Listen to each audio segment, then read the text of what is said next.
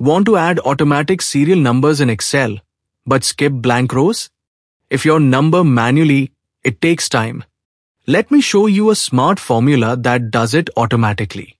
In a serial numbers column, type this formula. Is equal to if open parenthesis.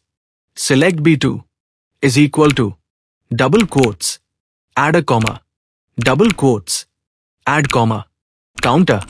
Open parenthesis select B2 press F4 to lock the cell. Colon.